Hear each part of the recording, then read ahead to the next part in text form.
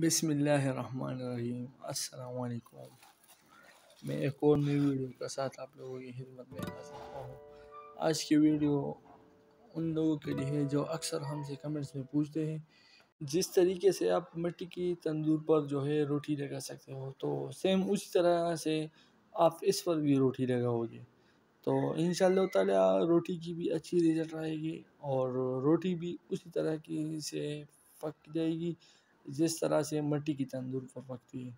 मैं आपको एक वीडियो दिखा देता हूँ तो उस वीडियो को आप देख लें तो आपको पता चल जाएगा, ये हमारे घर की तंदूर है, हम बिल्कुल इसी तरीके से आप इस पर रोटी बना सकते हैं। बिल्कुल उसी तरीके से आपको इस तंदूर पर रोटी लगानी चाहिए, जिस तरीके से आप मिट्टी की तंदूर पर रोटी लगा सकते हैं।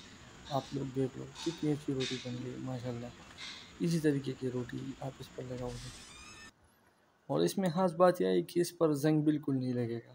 इसकी जंग की हम वारंटी देते हैं और इसका नहायत ही गैस का खर्चा बहुत कम है। अक्सर लोग हमसे पूछते हैं कि ये तंदूर जो है, ये सिर्फ़ गैस पर चलता है कि नहीं, सिलेंडर एलपीजी गैस पर भी चलेगा तो दोनों पर काम करेगा। आपको जिस चीज़ पर आपको सेट करना है तो उसी पर हम सेट करेंगे। आपको अगर गैस पर चलाना है तो भी अगर सिलेंडर पर तो भी, ठीक है? तो अगर किसी को ऑर्डर करवाना हो तो स्क्रीन पर दी हुई नंबर पर आप लोग रब्ता हमसे कर सकते हैं। अगर वीडियो अच्छी लगी हो तो चैनल को सब्सक्राइब ज़रूर कीजिए और आगे शेयर ज़रूर कीजिए।